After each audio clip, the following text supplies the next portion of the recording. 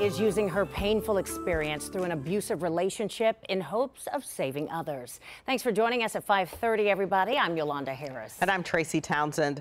10 TV's Stephanie Stanovich has the details and we have to warn you, they might be graphic for some. There is this whole scar right through here a constant reminder to Valerie Cornett of a horrific experience she lived through. No, he never hit me before. But she says one day in April, that changed. And that day he was acting very furtive and just different, like he was on edge. She says her ex boyfriend, John Cheney, who is now facing charges of assault and kidnapping, attacked her. She threatened to call the police. And then pulled a gun on me and told me that he would shut me up. And um, as I was trying to retrieve my phone is when he turned around and busted me in the face. I don't know how many times. I know for sure two at least. Cornett says her son was in the room and Cheney's two kids. When you're in a situation that like that, your first you're in survival mode. Cornett didn't go to the hospital until 12 hours later. She told them she fell, but had a feeling they didn't believe her. And that's when they found the skull fractures and the fractures in my face and the concussion and a back contusion. A week went by. On the 13th, he dropped off her son at daycare. He took his kids.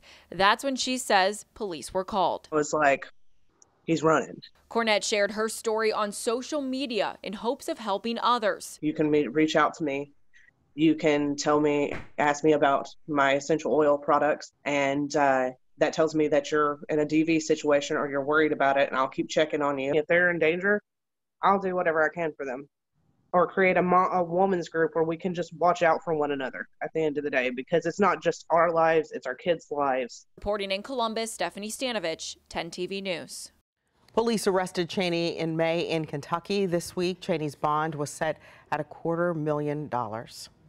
Well, we wanted to get some more perspective on this, so we spoke with experts at Nationwide Children's Hospital. We also spoke with the Lutheran Social Services program called Choices. They offer shelter and provide resources for adults in situations like these. Experts say isolation is a concern because most abuse happens at home.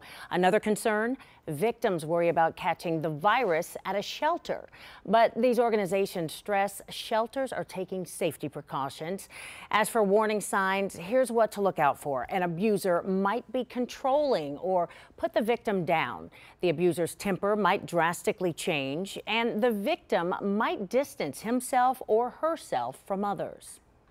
Leaving an abusive relationship is a very dangerous time, so we plan that very carefully with victims of domestic violence so that we can help them get to safety. Just really knowing that um, that you're not alone and that help is available and and also that for every person who is a survivor, you're making decisions constantly about ways to keep yourself and your family safe. We recognize that you're making like calculated and protective decisions now, if you or someone you know needs help, go to thehotline.org. Also, Franklin County's LSS Choices Crisis Hotline is answered 24 hours a day, and the number to that is 614 224 4663.